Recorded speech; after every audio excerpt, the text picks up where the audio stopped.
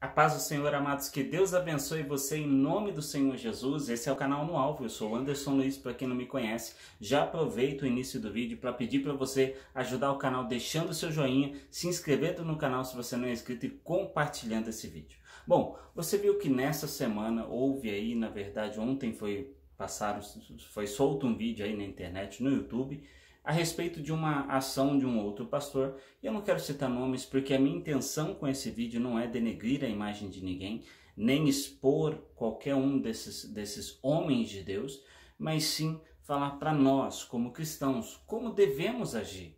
Sabe, a palavra de Deus é bem clara com respeito ao amor ao próximo, ao amar ao próximo.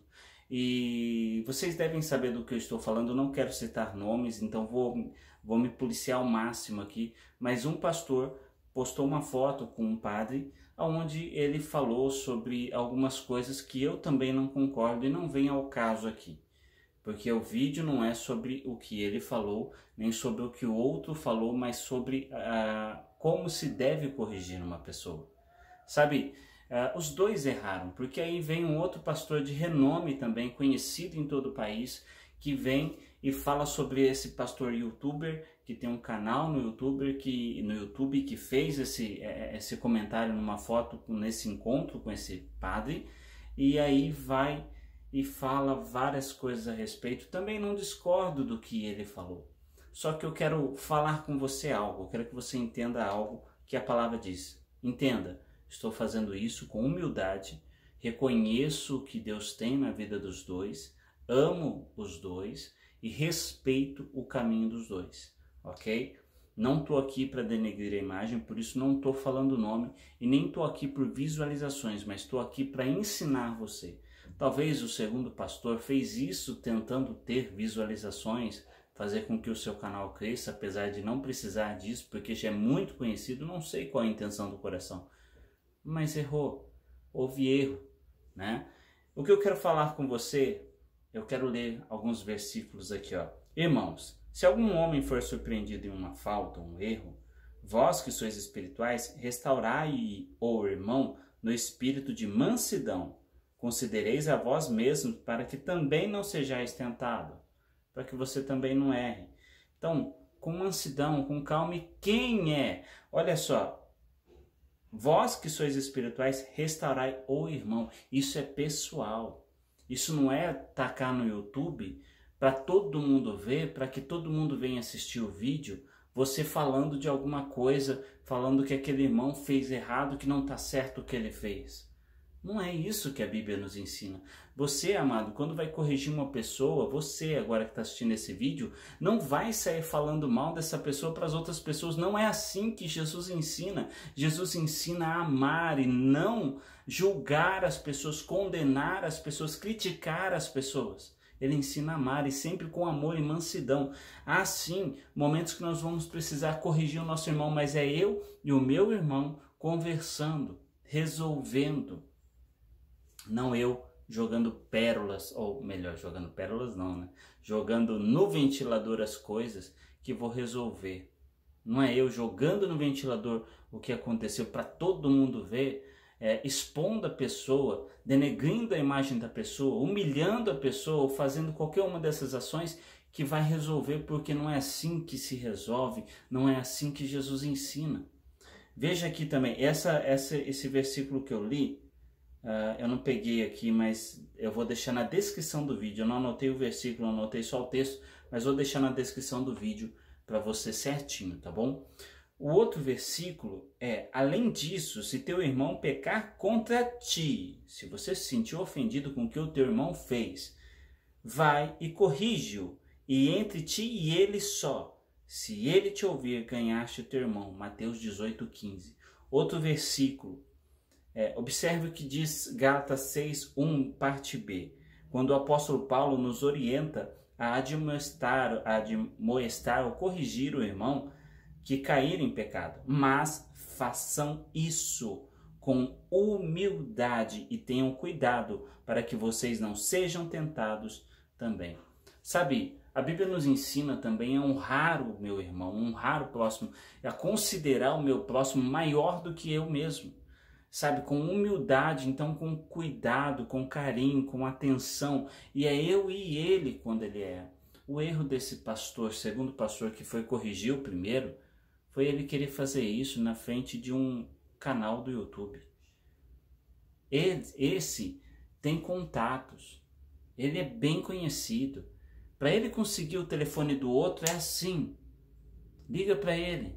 Olha, fulano, Olha, não achei legal o que você fez, corrige.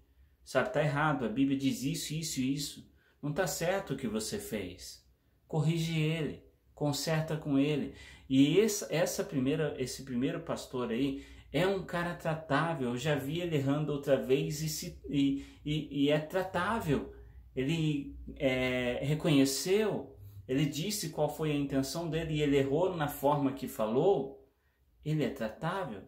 Então seria simples resolver esse problema, não precisaria jogar no ventilador por questão de de repente querer fazer um vídeo que fosse bem visualizado, ou porque é explosivo, é crítico assim mesmo. Bom, a Bíblia ensina, é, como diz aqui, a ter espírito de mansidão. É... Romanos 14,10 diz: Mas tu, por que julgas a teu irmão? Pois todos havemos de comparecer perante o tribunal de Cristo. Que não venhamos olhar para o nosso irmão para julgá-lo. Nós não somos juízes. Se ele está errando e na Bíblia a gente sabe o que é certo, a gente vai sentar com ele, conversar e mostrar na palavra o que está certo e o que está errado. Não é julgando, apontando o dedo, fazendo é, de uma forma tão. Não posso usar essa palavra, mas é, ridícula.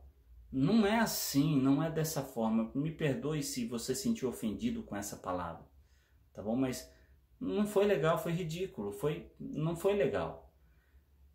Gálatas 6:1 Irmãos, se alguém for surpreendido em alguma ofensa, vós que sois espirituais, corrigiu o tal com espírito de mansidão. Mas olha, por ti mesmo, para que não sejais também tentado. Eu li duas vezes o Gálatas é, 6:1. Eu peguei a parte B também aqui é, em cima, só para que a gente entenda bem o que diz o Gálatas 6:1.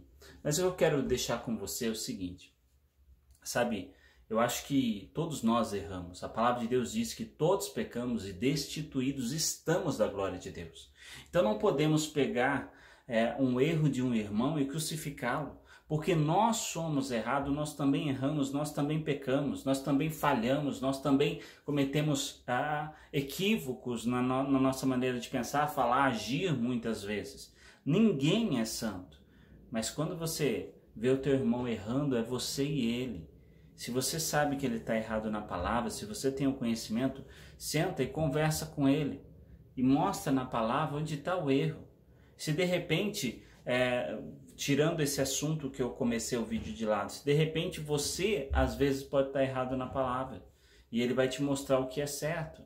Sabe, às vezes a gente fica olhando para as pessoas, procurando o que julgar, ou o que, o que ela está errando ou falhando. A Bíblia nos ensina a olhar para nós mesmos e olhar os nossos erros para que a gente possa nos corrigir, para que nós possamos nos corrigir e procurar alcançar essa estatura de varão perfeito que a, que a Bíblia nos ensina.